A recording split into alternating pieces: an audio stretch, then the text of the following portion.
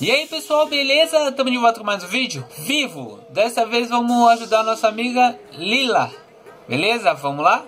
Retro Games é na Red Games. Compra, vende, conserta jogos e muito mais. Links na descrição do vídeo. Eletrônicos LF. Eletrônicos em geral. O que você procura você acha aqui. Link na descrição do vídeo. Amigo, eu gostaria de colocar esse HGU em modo bridge.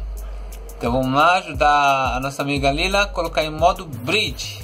Vamos lá, vamos abrir o navegador, né? Você acessa o equipamento, né? Digitando a barra 192.168.15.1, né? Para acessar essa página você vai ter que digitar o admin e a senha.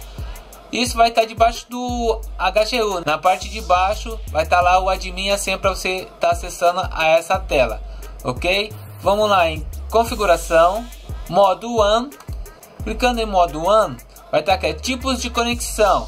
Do lado vai estar modo de operação. Modo de operação, ele está como roteador, ok? Clica aqui na seta, coloca o modo bridge, avançar. Beleza, eu estou ciente. Prosseguir.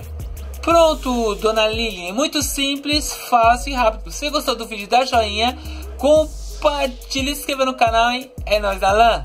Fui!